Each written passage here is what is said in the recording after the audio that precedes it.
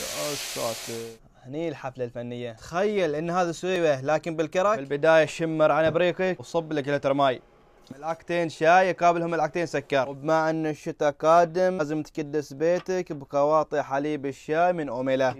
يا سنين 30 سنة وحنا اللي نستخدم الحليب. أول ما يثور خلاص الشاي نصب الحليب. شلالات على طول زنجبيل وهيل وزعفران ما زاد ثوران الكرك زادت حلاوته. هذا هو البخور الصح. هذا الطعم العماني الأصيل. في اللون كيف يتكلم؟ فضلك كوب والباكر على تاوة. صب لك سمن شوي. شوية ولا شعيريه شوية مكسرات. وخلط. يا مخلط لحد ما يشكر. ثم صب الكرك. عليها لحد ما تنضج. مع الغراف.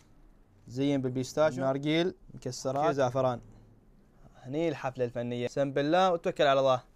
وبمناسبة العيد الوطني ولأن أوميلا تحب عمان العمانيين وتلكم مسابقة بتشوفوا تفاصيلها خلال الأيام القادمة.